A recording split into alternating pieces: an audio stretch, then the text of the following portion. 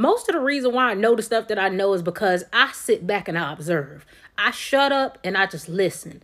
I listen to what people do. I listen to how they move. I watch them and I don't say nothing, right? I let you feel like this is a judgment free zone. And I just watch to see what you want to do, right? And in doing that, I've learned so much stuff about men and women. But one thing I learned about women specifically is that they cannot see themselves. They literally cannot see themselves at all.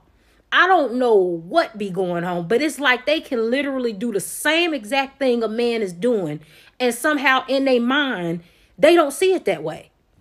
I have literally been around women who barely knew me, right? But just felt comfortable sharing the information to me. But will sit up, show me their phone. I can see text messages, DMs from men. And these are married women, women in relationships, showing me men offering to take them out to eat, send them money. And she don't see nothing wrong with this.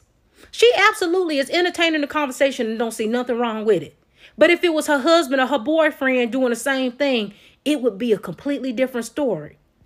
I be on TikTok sometimes and I come across a video where a dude oiled up, thirst trapping, and you'll have married women in that comment section making little jokes towards their husband in the comment section, basically saying that they willing to risk it all for this thirst trap, right? But let their husband be under the picture of a woman's thirst trap. Completely different story. I don't play that it's okay when women do it, but it ain't all right when men do it. Oh no, keep it across the board or don't play with it at all. I'm about to also shake the table on something else people don't like to talk about. People don't want to admit how many times women are actually the aggressor in a situation when it comes to sex. I know the picture is always painted that this woman was some helpless woman who was invited over this man's house and she was sitting on his bed like a little angel and then he slid over there and put his hand on her thigh a lot of times that's not how it went down. he was actually okay with watching TV. It was her who jumped on top of him and made the show go down, right? Like a lot of times stuff is really a narrative getting pushed that don't even be the truth of what's happening it's a lot of women out here who are very sexually active and they're very aggressive when it comes to sex. And so it's not always the man. It ain't always him being a pervert. It ain't always him being the aggressor in the situation. Sometimes it was her. Sometimes he was saying no and she still kept pushing it until he was like, okay.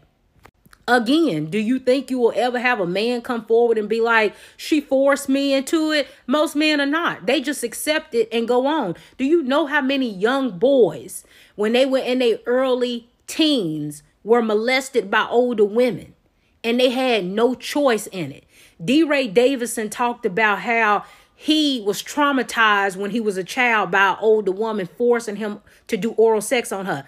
And that is sad, but that is not a one case scenario. It happens more often than people like to talk about.